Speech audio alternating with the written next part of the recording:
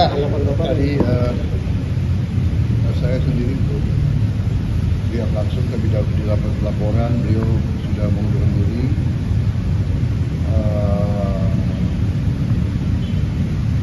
komentar saya, saya kira itu adalah tindakan tanggung jawab, tindakan kesatria.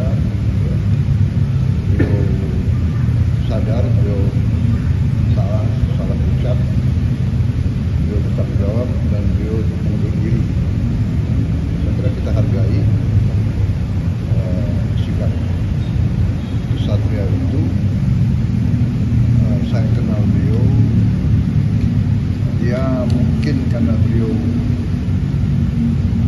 memang bergaul dan uh, sering berceramah kalangan bawah mungkin bahasa beliau niatnya bukan niat jahat bukan niat menghina tapi terlepas mungkin. Ya salah lah salah ucap. Beliau sadar beliau salah beliau bertanggung jawab beliau mengundurkan diri saya kira itu ya jelas. Saya kira di Indonesia ini jarang orang merasa salah bertanggung jawab dan mundur diri ya. Jadi kita hargai yang itu. Tapi ya beliau sendiri sadar bahwa beliau salah. Bapak sudah menggantikan ada penggantinya